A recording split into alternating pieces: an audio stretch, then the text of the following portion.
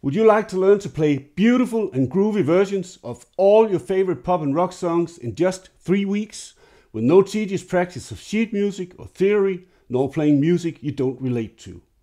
Well, you can. I'm telling you, anybody can learn how to play pop and rock songs on the piano using chords.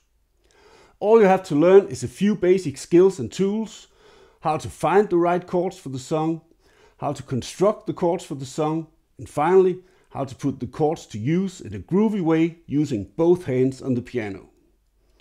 Now, if this sounds like something for you, I'd like to invite you over to attend my free online webinar, Piano in 3 Weeks. In this webinar, I'll disclose all the secrets to how you can learn to play piano the fun, the fast, and the groovy way. Alright? Simply click on the link and sign up. The webinar is totally free the webinar is starting right now and I'll see you in a second.